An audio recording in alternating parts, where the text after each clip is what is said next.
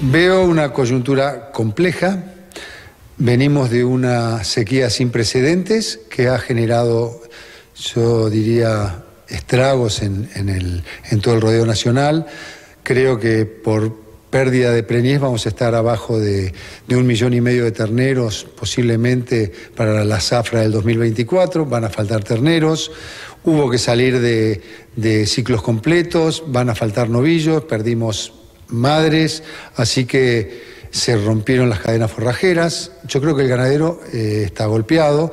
Veníamos de dos años buenos, teníamos tal vez colchones que pudieron permitir absorber esta situación y, bueno, los precios se vienen quedando contra la inflación mes a mes.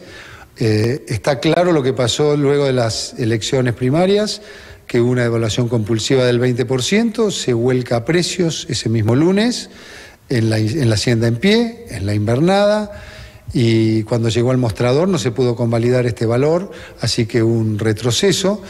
Eh, en líneas generales soy siempre optimista.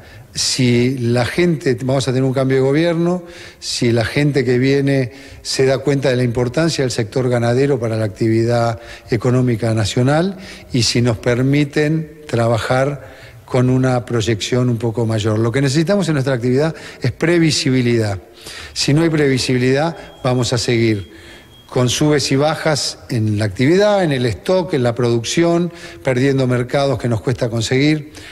En fin, creo que tenemos una coyuntura compleja para contestar tu primera tu pregunta, eh, que vamos a recomponer el stock y vamos a recomponer la producción en la medida que nos den señales claras.